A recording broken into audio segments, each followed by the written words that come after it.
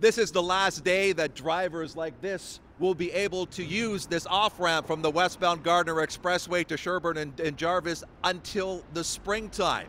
Because starting at midnight tonight, this off ramp is going to be closed for months so they can rip up, repair, and replace the entire ramp.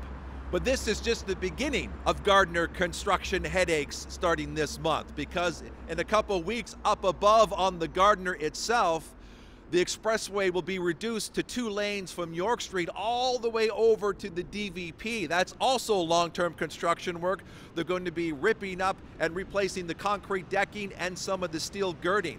That means traffic headaches up there, traffic closure and headaches down here. Not a great time to be a driver who uses the Gardiner Expressway.